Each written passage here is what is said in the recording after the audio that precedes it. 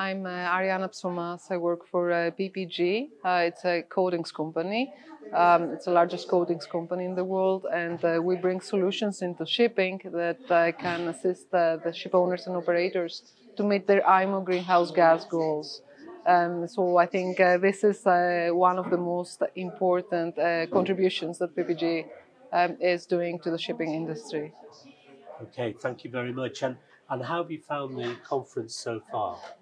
Um, the conference has been uh, brilliant, excellent. Uh, this like every time, but um, we have the chance every time to learn uh, more uh, about uh, the new, the upcoming trends, uh, the new regulations.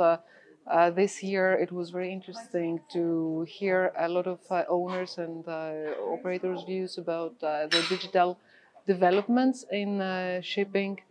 Um, and also the way this is set up, it brings uh, really a lot of value um, to have discussions with uh, ship owners and operators. Okay. Well, thank you very much for coming along, and we'll see you soon. Thank, thank you, Greg. Appreciate it.